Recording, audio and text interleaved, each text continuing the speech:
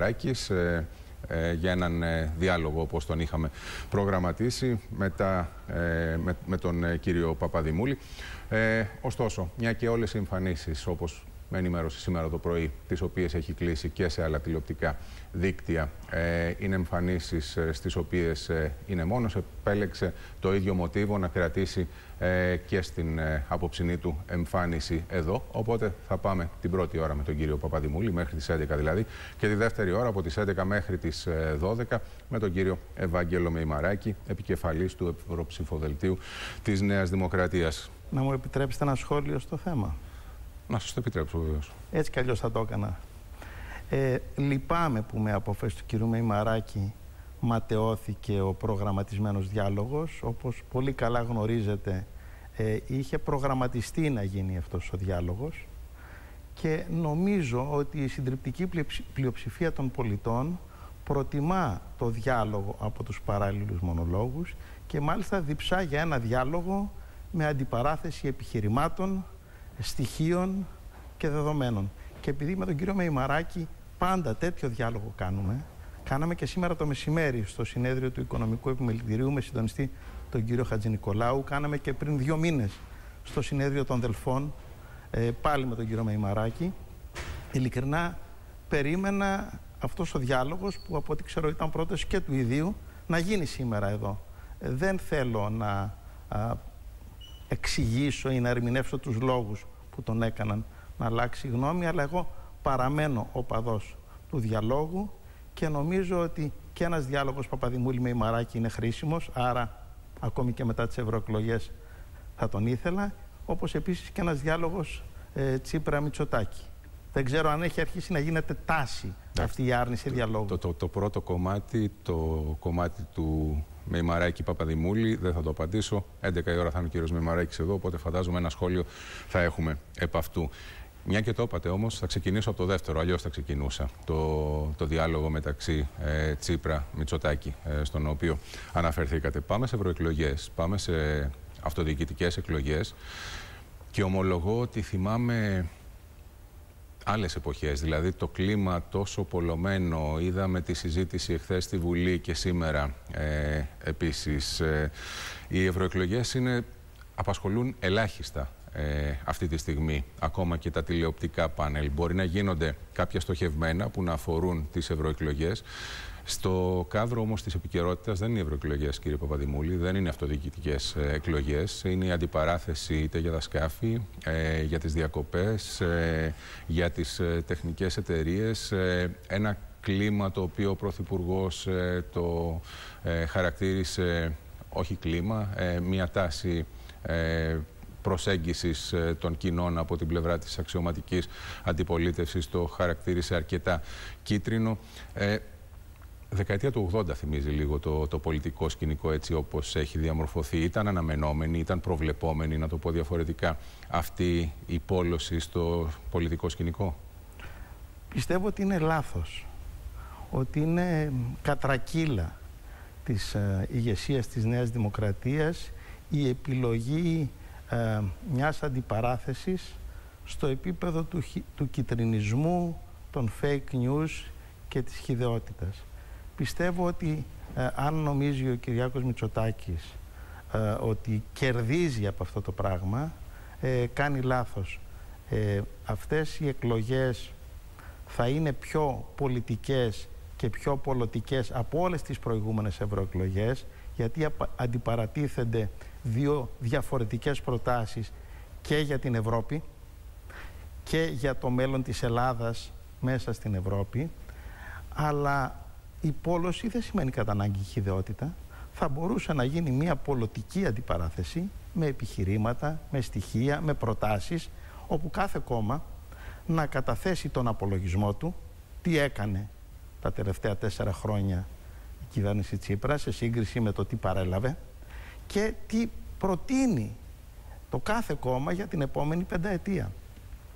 Ε, ο κύριος Μητσοτάκης έχει δώσει μάλιστα και χαρακτήρα σε αυτές τις ευρωεκλογές δημοψηφίσματος που σημαίνει ότι έχει μια παραπάνω υποχρέωση ως ε, μελλοντικός πρωθυπουργός όπως φιλοδοξεί να εμφανίσει τον εαυτό του ως ένα αναμονή πρωθυπουργός, οφείλει ε, να κρατάει ένα επίπεδο στο διάλογο και επίσης να μην κρύβεται. Η προσπάθεια να αντιπαρατίθεται ο διάλογος στη Βουλή που είναι αναγκαίος και χρήσιμος με το διάλογο στην τηλεόραση ε, δεν νομίζω ότι είναι πιστικό επιχείρημα και επίσης δεν θυμίζει καθόλου Ευρώπη. Ξέρετε πολύ καλά κύριε Χαρίτο ότι είναι κατεξοχήν ευρωπαϊκή παράδοση ο διάλογος των πολιτικών αρχηγών να γίνεται και στην τηλεόραση η επικεφαλής των δύο βασικών, των δύο μεγαλύτερων κομμάτων αναμεταξύ τους, αλλά και ένας ευρύτερος διάλογος, ένας στον κοινό τραπέζι και με τους άλλους ε, πολιτικούς αρχηγούς. Νομίζω ότι ο λόγος που ο κ. Μητσοτάκης επιλέγει τη χειδαιότητα και ε, επιλέγει και να κρύβεται αρνούμενος την ε, συζήτηση πρόσωπο με πρόσωπο στην τηλεόραση με τον Τσίπρα είναι πολύ απλός ότι κάθε φορά που γίνεται ένας τέτοιος διάλογος ε, χάνει. Αλλά για μένα η ουσία είναι ότι η επιλογή της χιδεότητας και του κυτρινισμού για την οποία αν ζούσε η δωρητής της Νέας Δημοκρατίας ο Κωνσταντίνος Καραμαλής, κατά τη γνώμη μου, θα ντρεπόταν. Σε τι αναφέρεστε ακριβώς, Σε όλα αυτά που περιγράψατε. Ότι αντί να συζητήσουμε χτες για την οικονομία, για τα κοινωνικά προβλήματα, για τις προοπτικές του τόπου, για το πώς θέλουμε ε, την Ελλάδα μες στην Ευρώπη τα επόμενα χρόνια και τι θα κάνουμε γι' αυτό, τι θέλουμε να αλλάξει στην Ευρώπη. Αντί γι' αυτό έγινε μία αντιπαράθεση με οξύτατους χαρακτηρισμούς, με λάσπη, με fake news που νομίζω ότι αδικεί την ιστορική παράταξη της Νέας Όλα αυτά προειδεάζουν και για το κλίμα το οποίο θα ακολουθήσει τις εκλογές αυτές ε, και μιλώ πλέον για τις ε, βουλευτικές εκλογές. Κοιτάξτε κύριε Χαρίτο, ο Αλέξης Τσίπρας έδειξε χθες ε, με τις απαντήσεις που έδωσε ότι ε, κάνει λάθος ο Κυριάκος Μητσοτάκης όταν επιλέγει αυτό το γήπεδο. Από εκεί και πέρα ε, προσωπικά θα επιδιώξω ε, και ελπίζω ότι και ένα μεγάλο κομμάτι του ελληνικού λαού το θέλει η αντιπαράθεση να είναι έντονη, να είναι πολιτική, να είναι αν θέλετε και, και πολιτική αλλά στηριγμένη σε επιχειρήματα ε, και στοιχεία. Όσοι ε, αντί γι' αυτό επιλέγουν τη χιδεότητα, τα ψεύδη, τον κυτρινισμό, νομίζω ότι ροκανίζουν το κλαδί πάνω στο οποίο καθόμαστε όλοι και λέγεται κοινοβουλευτική ε, δημοκρατία. Κατά τα άλλα, αυτό που εισπράττω, επειδή ως υποψήφιος ευρωβουλευτής που διεκδικεί ψήφο υπέρ του ΣΥΡΙΖΑ και της Προοδευτικής Συμμαχίας και έναν από τους τέσσερις σταυρούς προτίμησης, ξέρετε οργώνω όλη την Ελλάδα, ε, βλέπω ότι αυτή η επιλογή του Κυριάκου Μητσοτάκη και των συμβούλων του θα εξελιχθεί σε μπούμεραγκ για τη Νέα Δημοκρατία γιατί ενισχύει την συσπήρωση των οπαδών του ΣΥΡΙΖΑ και των φίλων του ΣΥΡΙΖΑ, ακόμη και άνθρωποι που ε, μας κάνουν κριτική. Δημοσκοπικά πάντως αυτό δεν προκύπτει στο οποίο αναφέρεστε. Δηλαδή, οι δημοσκοπήσεις οι οποίες βλέπουν το φως ε, μέχρι και τώρα δίνουν τη Νέα Δημοκρατία πρώτο κόμμα στις εκλογές. Ε, αυτό που σας είπα δεν αντιφάσκει με αυτό που επισημαίνεται. Όλες οι δημοσκοπήσεις ε, δείχνουν μία μείωση της ψαλίδας συνεχή. Δεν υπάρχουν πια αυτές οι διψήφιες διαφορές και αυτά τα double score που υπήρχαν πριν ένα χρόνο. Και όλες οι δημοσκοπήσεις καταγράφουν, κύριε Χαρίτο, ότι το μεγαλύτερο ποσοστό αυτών που παραμένουν αναποφάσιστοι είναι πρώην ψηφοφόροι του ΣΥΡΙΖΑ. Και να προσθέσω και κάτι ακόμη που κατά τη γνώμη μου έχει τη μεγαλύτερη αξία. Όλα τα τελευταία χρόνια η Νέα Δημοκρατία κερδίζει στις δημοσκοπήσεις και ο ΣΥΡΙΖΑ κερδίζει στις εκλογές. Αυτό που σας έλεγα όμως και θέλω να το ολοκληρώσω είναι ότι η αίσθηση που έχω είναι ότι πρώτον αυτά τα χτυπήματα κάτω από τη ζώνη του Κυριάκου Μητσοτάκη ε, στον Τσίπρα ε, συσπυρώνουν τον κόσμο τους ΣΥΡΙΖΑ και της ευρύτερης προοδευτικής παράταξης και επίσης δεν αρέσουν σε ένα κομμάτι ανθρώπων που ανήκουν στην κεντροδεξιά και την θυμούνται έτσι όπως την είχε ιδρύσει ο Κωνσταντίνος Καραμαλής. Πάντως αυτό στο οποίο αναφερθήκατε, ότι οι δημοσκοπήσεις ε, ε, δίνουν ε, νίκη ε, στα άλλα κόμματα, ωστόσο η πραγματικότητα είναι ότι στις εκλογές κερδίζει ο ΣΥΡΙΖΑ. Αυτό συνέβη όντως και συνέβη σε δύο εκλογικές διαδικασίες, όπου ο ΣΥΡΙΖΑ είχε ένα άλλο πρόσημο, ε, δεν είχε απολέσει επίσης σε ένα βαθμό στα μάτια του κόσμου το, το αριστερό πρόσημο στο βαθμό που αυτό υφίστατο εκείνη την εποχή και από την άλλη βεβαίως ε, ο ΣΥΡΙΖΑ δεν είχε διαχειριστεί μια μνημονιακή, δεν είχε ταυτιστεί με μια μνημονιακή διαχείριση. Ε, αυτό είναι ένα ζήτημα το οποίο καλείται σήμερα στις εκλογές που έρχονται και τις έχουμε μπροστά μας να το διαχειριστεί ο ΣΥΡΙΖΑ για να το αποτινάξει από πάνω του. Ευχαριστώ να σας απαντήσω στο θέμα που θέτετε. Ο ΣΥΡΙΖΑ έχει στο ενεργητικό του ότι αμέσως μετά τον οδυνηρό συμβιβασμό που έκανε το καλοκαίρι του 2015 έθεσε στην κρίση των πολιτών ε, τη συμφωνία, ξαναπήρε λαϊκή εντολή το Σεπτέμβριο του 2015 και από το Σεπτέμβριο του 2015 μέχρι τώρα έχουμε κάνει όσα έχουμε υποσχεθεί και σε κάποια πράγματα και με το παραπάνω. Βγάλαμε τη χώρα από τα μνημόνια. Μετά από μια σορευτική ύφεση 27% η χώρα έχει επιστρέψει σε ρυθμούς οικονομικής ανάπτυξης υψηλότερους από το μέσο όρο της Ευρωζώνης. Την ανεργία τη μειώσαμε από το 27% στο 18% με πτωτικές τάσεις. Επί τρία συνεχόμενα χρόνια, κύριε Χαρίτο, έχουμε ε, κοινωνικό μέρισμα, 16, 17, 18.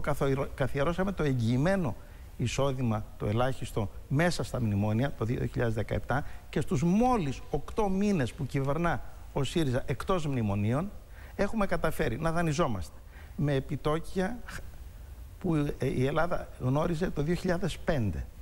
Έχουμε καταφέρει να πάρουμε το πρώτο ένα δις επιστροφή ε, από, κερδών από τα ελληνικά ομόλογα. Να πετύχουμε μια σοβαρή ελάφρυση του χρέους, η οποία θα οδηγήσει σε πτώση του χρέους ως ποσοστού του ΑΕΠ τα επόμενα πέντε χρόνια κατά 45%.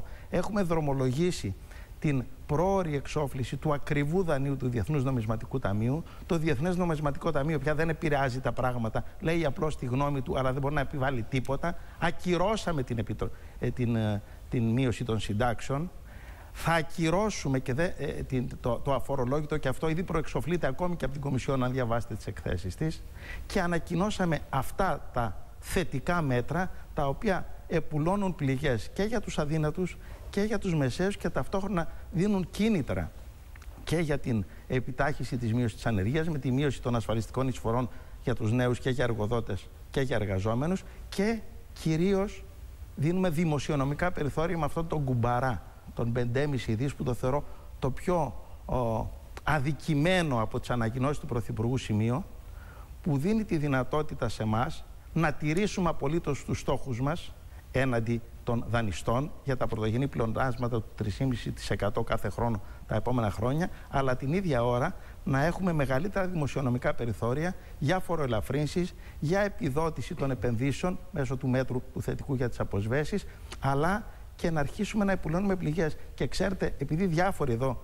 στην Ελλάδα, φίλοι της Νέας Δημοκρατίας και στελέχοι της Νέας Δημοκρατίας λαχταρούν να υπάρξει ένα όχι σε αυτές τις ανακοινώσεις από τις Βρυξέλλες και ένα φρένο σε αυτές, σας βεβαιώνω με την πρόσθετη θεσμική ευθύνη που μου δίνει η ιδιότητα του Αντιπροέδρου του Ευρωπαϊκού Κοινοβουλίου ότι να μην περιμένουν όσο και αν προσπαθούν ότι ο Γιούνκερ, ο Ντομπρόφσκης που ανήκουν και στο Ευρωπαϊκό Λαϊκό Κόμμα ή ο Μοσκοβισή θα βάλει φρένο σε αυτές τις ανακοινώσεις. Πρώτον γιατί είμαστε εκτός μνημονίων και τώρα πια ασκούν δημοσιονομική εποπτεία και δεν έχουν τη δυνατότητα της επιβολής και δεύτερον διότι θα αποδείξουμε στις συζητήσεις που ήδη ξεκίνησαν με αριθμούς ότι αυτά που ανακοινώσαμε βγαίνουν απολύτως και τηρούμε απολύτως τους δημοσιονομικούς μας στόχους. Να σας το πω πιο απλά, όπως το καταλαβαίνει ο κόσμος. Επειδή εμείς περιορίσαμε τις κλεψιές επειδή εμείς κάναμε βήματα εξυγχρονισμού του κράτους, επειδή περιορίσαμε τη διαφθορά,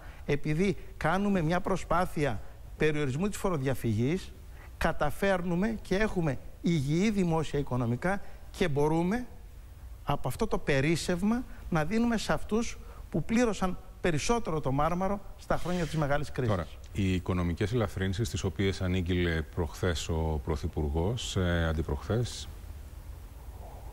γιατί στη δεδομένη χρονική στιγμή είναι το ερώτημα το οποίο γεννάται. Ε, κάποιοι λένε ότι ε, έτσι κι αλλιώς ε, έπρεπε να ε, να βρεθεί ένας ε, τρόπος, μια φόρμουλα, ούτως ώστε να στραφεί αλλού το ενδιαφέρον λόγω της συζήτησης που υπήρχε στη Βουλή από την αντιπολίτευση βεβαίως, από αντιπολιτευτικά μέσα λέγεται αυτό, εν ώψη της συζήτησης που υπήρχε για τον ε, κύριο Πολάκη και για τα θέματα τα οποία έτσι κι αλλιώς ήταν γνωστό ότι θα έβαζε η Νέα Δημοκρατία για τις διακοπές του Πρωθυπουργού κτλ. κτλ. Ε, Στην αντίπερα όχθη υπάρχουν κάποιοι οι οποίοι λένε αρκετά υποψιασμένοι ότι ενδεχομένως στο πίσω μέρος του μυαλού του Αλέξη Τσίπρα να βρίσκονται εκλογές νωρίτερα, όχι τον Οκτώβριο ε, που δηλώνουν, αλλά ενδεχομένως να τις δούμε και τον Ιούνιο. Οπότε πάμε τώρα για να, να υπάρχει ένας μήνας για να μπορούν να, να το. Να σας απαντήσω. Γιατί τώρα αυτά τα μέτρα, Γιατί ανακοινώθηκαν τώρα; Πρώτον, διότι πριν από λίγες μέρες έκλεισε οικονομικά το 2018, αυτό γίνεται στα τέλη του Απριλίου κάθε επόμενου χρόνου και φάνηκε ότι έχουμε υπερπλεόνασμα στο πώς κλείνει το 2018. Και άρα έχουμε χρήματα να δώσουμε για ελαφρύνσεις και για στήριξη των ασθενέστερων και για επιτάχυνση της ανάπτυξης και της μείωσης της ανεργίας. Δεύτερον, ήρθαν εδώ οι κοινοτικοί και είδαν ότι και η υλοποίηση του προγράμμα του προϋπολογισμού του 19 και οι προβλέψεις για το 20 υπερβαίνουν τους, προ, τους προβλεπόμενους στόχους. Σας παραπέμπω στην ανακοίνωση της Κομισιόν, τις αρινές προβλέψεις της Κομισιόν. Άρα διαμορφώσαμε έναν δημοσιονομικό χώρο που μας επιτρέπει να χρηματοδοτήσουμε μέχρι και το τελευταίο ευρώ όσα ανακοίνωσε ο Πρωθυπουργός. Χωρίς να παραβιάζουμε τις δεσμεύσεις μας και χωρίς να αποκλίνουμε από αυτές. Γι' αυτό λοιπόν τώρα θα ήταν προεκλογικά εάν ήταν εφάπαξ μέτρα. Αλλά αυτά τα μέτρα αποτελούν τον βασικό άξονα, τον κορμό ενός προγράμματος τετραετίας και αν θέλετε είναι η πρώτη δόση όσων... Οι θεσμοί πάντως για να είμαστε ειλικρινείς ε, το βάζουν στο επόμενο Eurogroup ε, για να ε, βγει η, όποια απόφαση. Η, ανακοίνωση, η ανακοίνωση των θεσμών είναι εμάς μας ενδιαφέρει να τηρούνται οι δεσμεύσεις και οι δημοσιονομικοί στόχοι και θα τα συζητήσουμε αυτά τα μέτρα. Ε, και εγώ λέω αυτή τη συζήτηση θα την κάνουμε, είναι καλοδεχούμενη, έχει ήδη ξεκινήσει και θα αποδείξουμε για μια ακόμη φορά, όπως κάναμε και με τη μη περικοπή των συντάξεων, ότι υπάρχουν οι αριθμοί και τα περιθώρια για να γίνουν αυτά. Ε, και επίσης να πω και κάτι ακόμη, επειδή γνωρίζω, γιατί επί πέντε χρόνια συνεργάζομαι άριστα και στενά με τον Πρωθυπουργό και με το Οικονομικό Επιτελείο με τον Ευκλή Τσακαλώτο και παίζω κι εγώ έναν επικουρικό ρόλο ότι ούτε ο Γιούνκερ, ούτε ο Μοσκοβισή, ούτε ο Ντομπρόφσκης άκουσαν για πρώτη φορά αυτά τα μέτρα. Γιατί πριν από λίγες ημέρες υπήρξε ένα Euro Working Group στο οποίο εκπροσώπησε την Ελλάδα ο κύριος Χουλιαράκης και ο οποίος παρουσίασε όχι μόνο τα αποτελέσματα της μέχρι τώρα πορείας, αλλά και τις σκέψεις μας για το επόμενο χρονικό διάστημα. Και τώρα πια, ε, κύριε Χαρίτο, έχουμε αποδείξει ότι μπορούμε να έχουμε εμείς μια κυβέρνηση με αριστερό πρωθυπουργό και με κορμό το ΣΥΡΙΖΑ μεγαλύτερη αξιοπιστία και πιο σωστή δημοσιονομική και οικονομική διαχείριση από τους προηγούμενους. Στις Βρυξέλλες οι πάντες ξέρουν και οι δεξιοί και οι κεντρώοι και οι σοσιαλιστές και οι πράσινοι και οι αριστεροί ότι είναι η Νέα Δημοκρατία που άφησε έλλειμμα 15,1% το 2009 και οδήγησε την Ελλάδα στη χειροκοπία και είναι αυτή η κυβέρνηση του Τσίπρα η οποία κατάφερε να μετατρέψει τα, τα ελλείμματα σε πλεονάσματα, την ύφεση σε ανάπτυξη και να αρχίσει σιγά σιγά να οικοδομεί ε, κοινωνικό κράτος.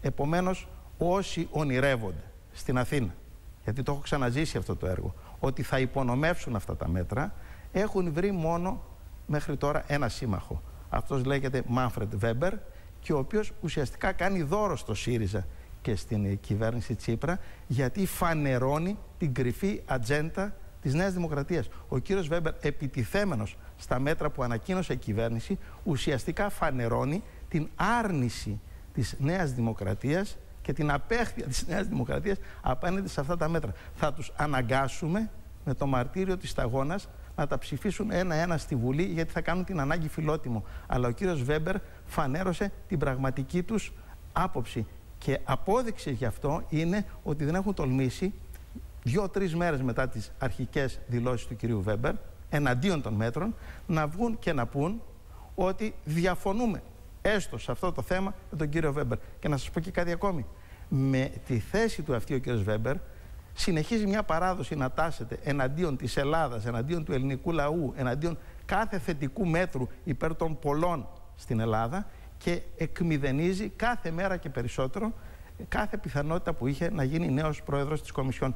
και έχω βάλει και προσωπικό στοίχημα, δεν είναι εκτός από το ότι είναι πολιτικός μας στόχος, ε, να φτιάξουμε μια νέα πλειοψηφία στο Ευρωπαϊκό Κοινοβούλιο με μια πλατιά συμμαχία που θα οδηγήσει σε άλλο πρόεδρο της Κομισιόν στη θέση του κυρίου Βέμπερ γιατί η Ευρώπη χρειάζεται συνοχή, ανάπτυξη, κλείσιμο της ψαλίδας βορρά-νότου και αυτό δεν μπορεί να το πετύχει ένας πολιτικός ο οποίος είναι δεξιότερος από το Σόιμπλε, είναι ο πρώτος που μίλησε για Brexit, ο πρώτος που ζήτησε να πεταχτεί η Ελλάδα εκτός Σέγγεν και ο οποίος σε όλα τα εθνικά μας συμφέροντα που είναι τα κονδύλια για τη συνοχή, τον αγρότη, τον κτηνοτρόφο, είναι απέναντι. Γιατί πολύ απλά εκφράζει τα συμφέροντα της υπερσυντηρητικής γερμανοκρατούμενης Ευρώπης. Μιλήσατε για κλείσιμο της ψαλίδας μεταξύ Βορρά και Νότου. Το, την Ευρώπη αρκετά, όχι πάρα πολύ, αλλά σε ένα μεγάλο βαθμό. Την έχω ταξιδέψει μαζί με τα παιδιά εδώ από την εκπομπή τους τελευταίους ε, μήνες. Έχουμε βρεθεί σε διαφορετικές ευρωπαϊκές ε, πρωτεύουσες, καταγράφοντας λίγο το κλίμα ε, και την ε, προσέγγιση των πολιτών σε διαφορετικές χώρες μέσα από τις οποίες θα οδηγηθούν στις κάλπες για τις ευρωεκλογές. Τελευταία ήταν την προηγούμενη εβδομάδα στην ε, Πορτογαλία. Ε, το κλείσιμο της ψαλίδας, αυτό στο οποίο αναφέρεστε μεταξύ Βορρά και Νότου, με δεδομένο ότι μέχρι τώρα που είχες ενδεχομένως ε, κάποιους ε, απέναντί σου για να συνεννοηθείς και που μίλαγες και μια γλώσσα πιο εύκολα, ε, ήταν μια γλώσσα κοινή, ε, πώς θα το πετύχεις από εδώ και πέρα, όντας με την ακροδεξιά να βρίσκεται σε πολύ μεγαλύτερα ποσοστά και πιθανότατα σε κάποιες χώρες να κυριαρχεί. Γι' αυτόν ακριβώς το λόγο χρειάζεται να αλλάξουν πράγματα στην Ευρώπη. Μήπως ε... χάσαμε χρόνο όμως, μήπως έπρεπε να αλλάξουν πριν φτάσουμε εδώ και μήπως τώρα τελικώς είναι αργά. Κύριε Χαρίτο, εγώ, εγώ δεν είμαι ο Γιούνκερ. Εγώ δεν είμαι ο Γιούνκερ, εγώ δεν είμαι ο Τούσκ. Εγώ είμαι υπέρ της Ενωμένης Ευρώπης και επικρίνω, όπως και το κόμμα μου ο ΣΥΡΙΖΑ, όπως και η προοδευτική συμμαχία που έχουμε συγκροτήσει, μια Ευρώπη η οποία κυριαρχείται από δεξιές νεοφιλελεύθερες συνταγές, την κυβερνάει το δόγμα Σόιμπλε ακόμη, και η οποία έχει αυξήσει τις ανισότητες ανάμεσα στο Βορρά και στο Νότο τα τελευταία χρόνια. Έχει αυξήσει τις ανισότητες ανάμεσα στους πλούσιους και τους φτωχούς. Και αυτό είναι το λείπασμα που τρέφει και την άνοδο της άκρας δεξιάς. Η ανασφάλεια που γεννούν η φτώχεια, η αβεβαιότητα για το μέλλον, οι έντονες ανισότητες, μαζί με το φόβο που δημιουργεί η τρομοκρατία ή η ανασφάλεια που δημιουργούν τα προσφυγικά ρεύματα, το μεταναστευτικό, δίνουν τη δυνατότητα σε διάφορους να μετατρέπουν το φόβο σε μίσος και να κηρύσουν τη διάλυση της Ευρώπης η άνοδος της ακροδεξιάς είναι ανησυχητική, κάνει τους προοδευτικούς στόχους για σύγκληση και για μείωση των ανισοτήτων πιο δύσκολους, αλλά γι' αυτό είναι μονόδρομος η συνεργασία των προοδευτικών φιλοευρωπαϊκών δυνάμεων. Και γι' αυτό ο ΣΥΡΙΖΑ έχει καταφέρει και με τη δική μου προσωπική συμβολή και με πρωταγωνιστική συμβολή του Αλέξη Τσίπρα να παίζει έναν πρωταγωνιστικό ρόλο στη σύγκληση των ευρωπαϊκών προοδευτικών δυνάμεων. Ο Τσίπρα σήμερα στη Σύνοδο Κορυφής ήταν ο πρώτος που είπε από τους ηγέτες όχι στο Βέμπερ. Θα ακολουθήσουν κι άλλοι. Το όχι στο Βέμπερ θα το πούν και οι σοσιαλιστές, θα το πούν και οι πράσινοι και εργαζόμαστε και είμαστε πολύ κοντά στο να το πει και ο Μακρόν και να το πούν και οι φιλελεύθεροι. Ο στόχος μας λοιπόν είναι να διαμορφώσουμε τέτοιες πλειοψηφίες γιατί εκτός από την ανησυχητική άνοδο της ακροδεξιάς, κύριε Χαρίτο, είναι ακόμη πιο ανησυχητικό κατά τη γνώμη μου ότι η παραδοσιακή δεξιά, το Ευρωπαϊκό Λαϊκό Κόμμα, διαβρώνεται από ακροδεξιές ιδέες. Όρμπαν, Κούρτς, πράγματα τα οποία απέχουν πάρα πολύ από αυτά που έλεγε για την Ευρώπη ο Κωνσταντίνος Καραμαλής όταν έβαζε την Ελλάδα στην ΕΟΚ, από αυτά που πιστεύει ε, ο Γιούνκερ ή άλλοι ηγέτες της Ευρωπαϊκής Κεντροδεξιάς. Και γι' αυτόν ακριβώς το λόγο σας λέω, η Ευρώπη πρέπει να αλλάξει και μόνο αν επιστρέψει στις ιδρυτικές της ρίζες που μιλάνε για συνοχή, για αλληλεγγύη, για διαφάνεια, για δημοκρατία, για ανάπτυξη και εγκαταλείψει τον νεοφιλελεύθερο μονόδρομο, μόνο τότε θα μπορέσουμε να ξαναβάλουμε στο ντουλάπι της ιστορίας τα πολιτικά εγγόνια του Χίτλερ και του Μουσολίνη. Το λείπασμα που τρέφει τους ακροδεξιούς στην Ευρώπη είναι το δόγμα της αιώνιας λιτότητας και αυτό πρέπει να αλλάξει. Η επόμενη πενταετία στην Ευρωβουλή πώς, πώς διαγράφετε, πώς προβλέπετε η, η εκτίμησή σας, το αισθητήριό σας είναι πιο ότι θα δούμε από εδώ και πέρα μια Ευρωβουλή με συνοχή ή μια Ευρωβουλή όπου θα έχει χαρακτηριστικά ενός ε, κοινοβουλίου εθνικού οποιασδήποτε χώρας με αντιπαραθέσεις έντονες και με τεράστια χάσματα. Να σας πω, καταρχήν η εμπειρία μου από την ε, πενταετία που κλείνει γιατί ήμουνα ο μόνος αντιπρόεδρος όχι μόνο από την αριστερά ε, στο Ευρωκοινοβούλιο αλλά και ο μόνος αντιπρόεδρος από την Ελλάδα. Ε, δείχνει ότι για μεν την Ελλάδα υπάρχει μια σοβαρή βελτίωση της κατάστασης, της εικόνας και του κύρους της. Σήμερα η Ελλάδα, κύριε Χαρίτο, αρέσει ή δεν αρέσει στον κύριο Μητσοτάκη και στους ολιγάρχες που τον στηρίζουν, είναι πιο αξιόπιστη, πιο αξιοσέβαστη, πιο ισχυρή, πιο υπολογίσιμη από ό,τι ήταν τα, τον Ιούλιο του 2014 όταν πρωτοεκλέχθηκα αντιπρόεδρος. Τότε κυριαρχούσαν τα πρωτοσέλιδα της Bild και ήμασταν το κλωστοσκούφι του κάθε Σόιμπλε. Σήμερα η Ελλάδα είναι πιο αξιοσέβαστη και αυτό πιστώνεται πριν από όλα στις θυσίες του ελληνικού λαού αλλά πιστώνεται και στη διακυβέρνηση της χώρας αυτά τα 4,5 χρόνια α, από τον Αλέξη Τσίπρα. Μέσα σε αυτή την πενταετία γίναν πράγματα. Πρώτα απ' όλα άρχισε να ανεβαίνει η ακροδεξιά για τους λόγους που προείπα. Δεύτερον, άρχισε να διαβρώνεται η παραδοσιακή δεξιά από ακροδεξιές ιδέες. Ένας Όρμπαν που τους παίζει, σαν τη γάτα με το ποντίκι. Και μέσα στους σοσιαλιστές άρχισαν αρκετοί να συνειδητοποιούν ότι όσο συνεργάζονται με τη δεξιά σε κυβερνητικό επίπεδο και υποκλίνονται στις νεοφιλελεύθερες συνταγές, τους απειλεί το φάσμα της πασοκοποίησης. Γι' αυτό και η Προοδευτική Συμμαχία ξεκίνησε από το Ευρωπαϊκό Κοινοβούλιο. Γι' αυτό βλέπετε όλο ένα και περισσότερο σοσιαλιστές και πράσινους να λένε καλά λόγια για το αριστερό κόμμα του ΣΥΡΙΖΑ και για τον Αλέξη Τσίπρα. Γι' αυτό βλέπετε τους προέδρους τριών πολιτικών ομάδων, αριστερά, σοσιαλιστές και πράσινοι ή ακόμη και τον Πάπα να προτείνουν για τον ε, Τσίπρα τον Νόμπελ Ειρήνης. Τώρα για την επόμενη πενταετία. Η πρόβλεψή μου είναι ότι θα γίνει ακόμη πιο δύσκολο και σύνθετο το τοπίο πριν α, στην απερχόμενη θητεία μπορούσαν να διαμορφώνουν πλειοψηφίες και να συγκυβερνούν το Ευρωπαϊκό Λαϊκό Κόμμα με τους Σοσιαλδημοκράτες.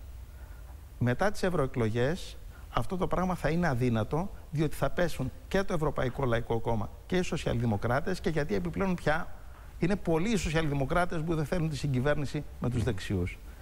Επίσης η, η συνεργασία δεξιάς-ακροδεξιάς που τη συμβολίζει ως επιθυμία κρυφή η υποψηφιότητα Βέμπερ, ο οποίος είναι πολύ πιο δεξιά από το Γιούνκερ, παρότι ανήκουν στην ίδια πολιτική οικογένεια, δεν φτιάχνει πλειοψηφία.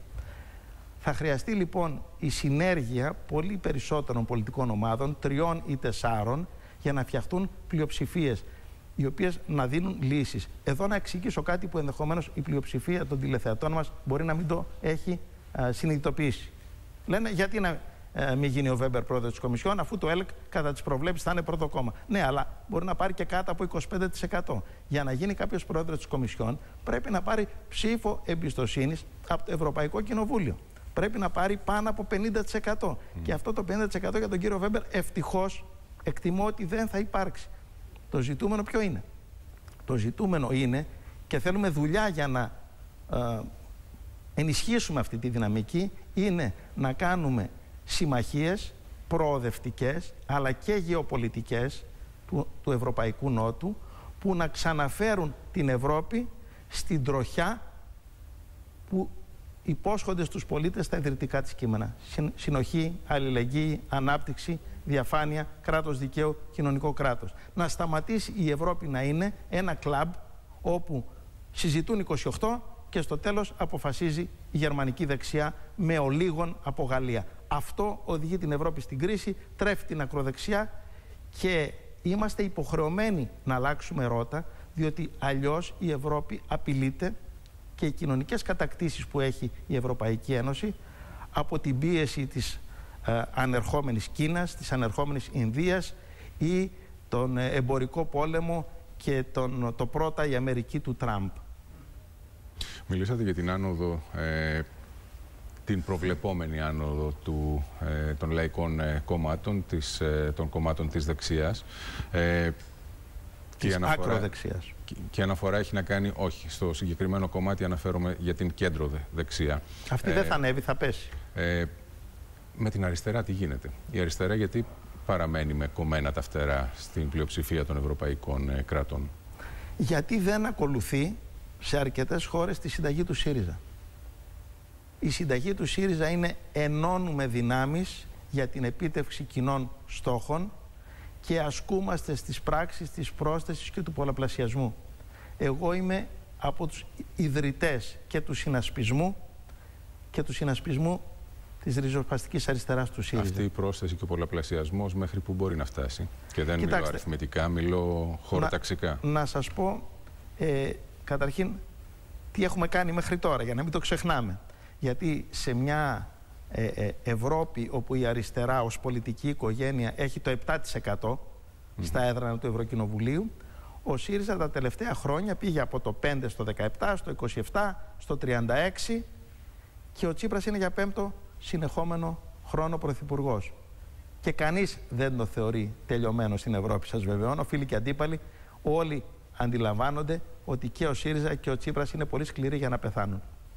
Τι επιδιώκουμε από εδώ και πέρα; Θα παραμείνουμε ένα κόμμα της, της αριστεράς στην πολιτική μας οικογένεια με τη δική μας φυσιογνωμία και ταυτότητα. Δεν μας απασχολεί μεταγραφή σε άλλες πολιτικές οικογένειες. Θα συνεχίσουμε να διευρύνουμε τα ερίσματά μας και τις συμμαχίες μας και με τους σοσιαλιστές και με τους πράσινους όταν πρόκειται για την καταπολέμηση του φασισμού ακόμη και με δημοκράτες του κέντρου ή της κεντροδεξιάς όπως και τις γεωπολιτικές μας συμμαχίες με βάση τα εθνικά μας συμφέροντα. Από την Αθήνα, από τον Τζίπρα ξεκίνησε η συμμαχία του Νότου και πάει καλά.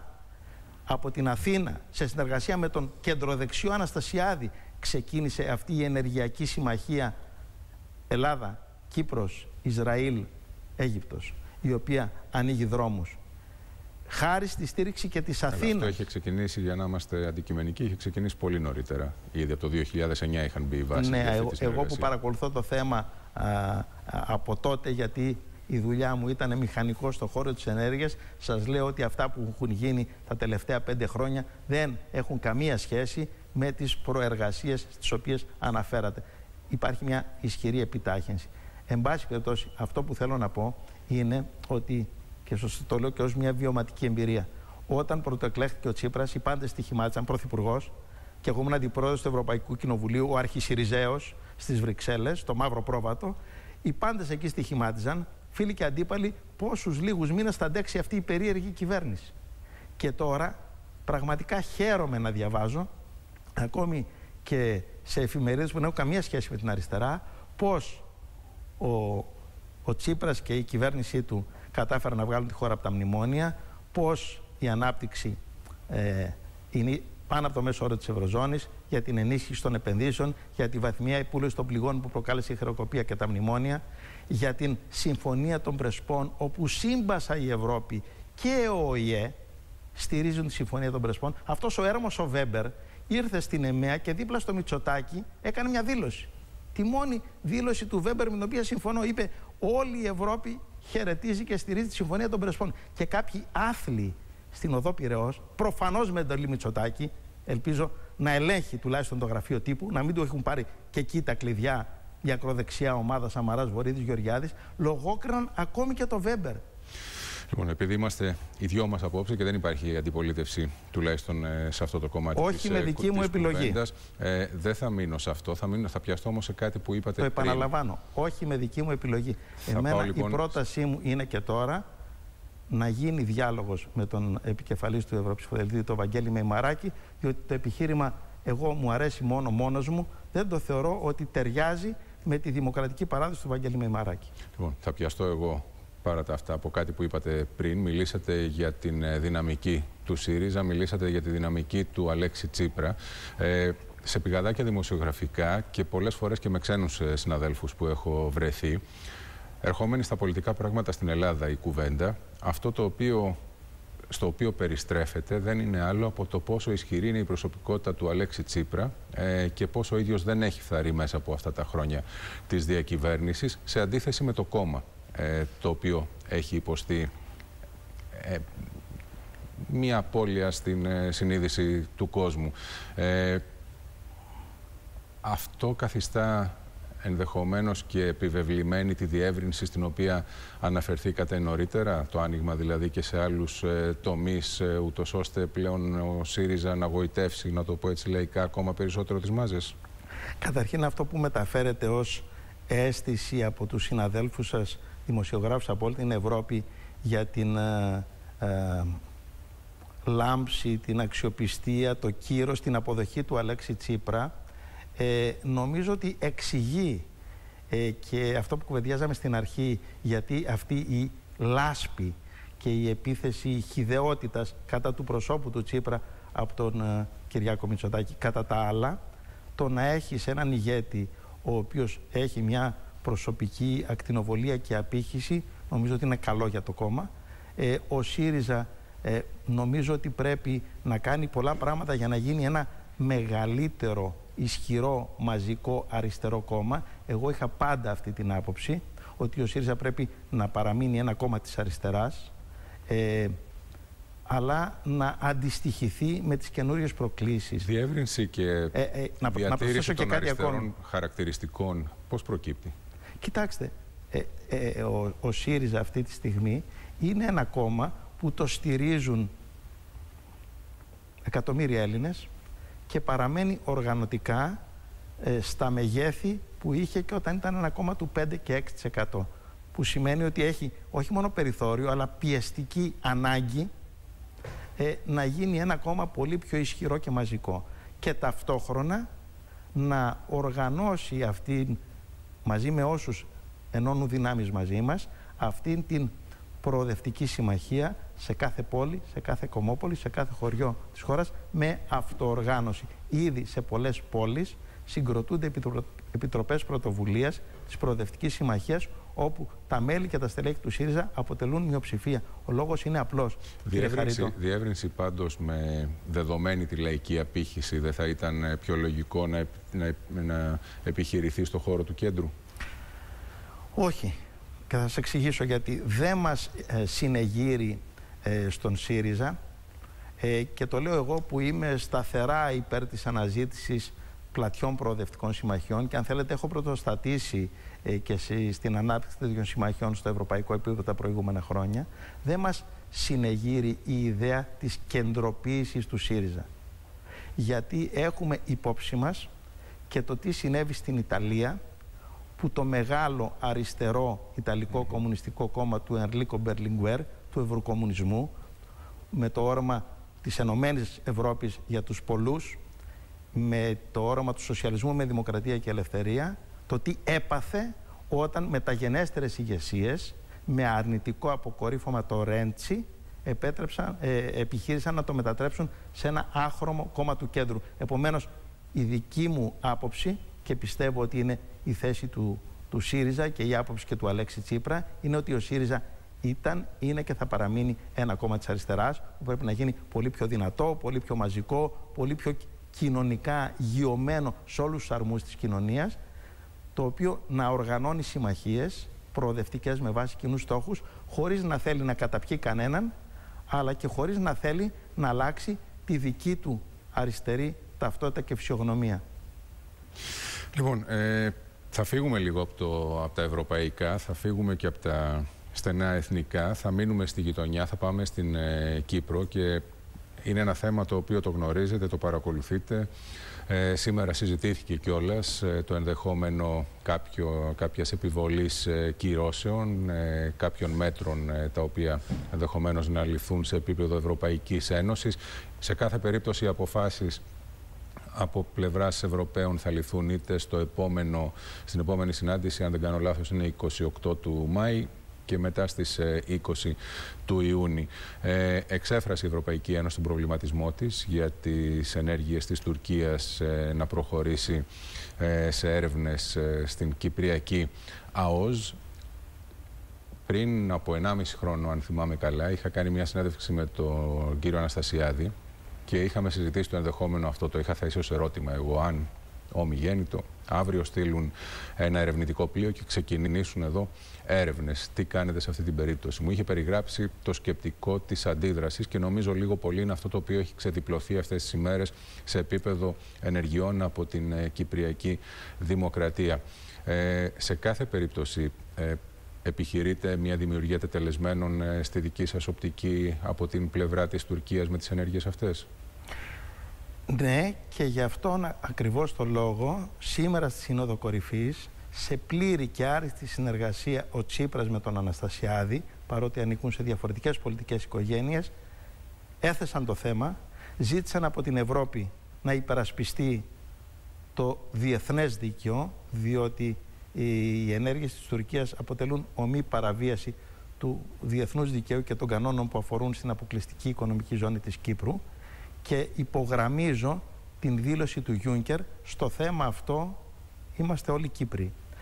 Αυτό που θέλω να προσθέσω είναι ότι και η Ευρωομάδα της Αριστεράς με δική μου πρόταση ήδη εδώ και μέρες πριν από τη Σύνοδο Κορυφής εξέφρασε την πλήρη αντίθεσή της και με πολύ σκληρό τρόπο στις αυθαίρετες ενέργειες της κυβέρνησης Ερντογάν και νομίζω ότι σε αυτό το θέμα έχουμε πολύ ισχυρές συμμαχίες και στηρίξεις. Εγώ περιμένω από την Ευρωπαϊκή Ένωση αυτά που δηλώνει να τα ε, κάνει και πράξη αν και όποτε χρειαστεί και προσθέτω κύριε Χαρίτο ότι σε αυτό το θέμα με σωστές ενέργειες σε συνεργασία Αθήνας και Λευκοσίας έχουν οικοδομηθεί ευρύτερες συμμαχίες. Οι έρευνες στην Κυπριακή ΑΟΣ γίνονται με τη συνεργασία δύο εταιριών, μιας Αμερικανικής και μιας Γαλλικής και αυτό σημαίνει ε, ερίσματα πολιτικά και διπλωματικά και πέραν του Ατλαντικού. Από εκεί και πέρα, επειδή ο Ερντογάν είναι ένας αστάθμητος παράγοντας, ένας νευρικός ηγέτης, Ακριβώς επειδή δεν είναι τόσο δυνατός όσο θέλει να δείχνει, η οικονομία του πάει χάλια, έχει καταφέρει να τσακωθεί ε, με σχεδόν όλο τον πλανήτη, ε, έχει αποτύχει στο κουρδικό, ε, παύλα συριακό, έχει χάσει τους τρεις μεγάλους δήμους, τον αμφισβητούν ακόμη και πρώην συνεργάτες του όπως ο Νταβούτογλου.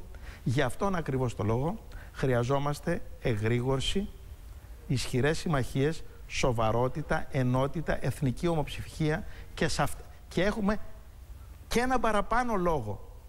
Αυτά τα θέματα που τώρα με ρωτάτε για να υπάρχει μία μίνιμουμ εθνική ομοψυχία. Και θυμώνω κυριολεκτικά, παρότι εγώ είμαι γενικά ήρεμος και μετρικοπαθή άνθρωπος, όταν βλέπω τον ηγέτη της αξιωματικής αντιπολίτευσης από τη δίψα του να γίνει πρωθυπουργός πάλι κάποιος από το Μητσοτακέικο, από, την, από το σύνδρομο στέρησης που έχει μια οικογένεια που είναι ταυτισμένη με το κράτος 4,5 χρόνια εκτός εξουσίας να κατρακυλάει τόσο χαμηλά, ξεχνώντας ότι υπάρχουν κάποια θέματα όπου επιβάλλουν για λόγους πραγματικού πατριωτισμού τουλάχιστον ένα επίπεδο εθνικής συνεννόησης και ομοψυχίας.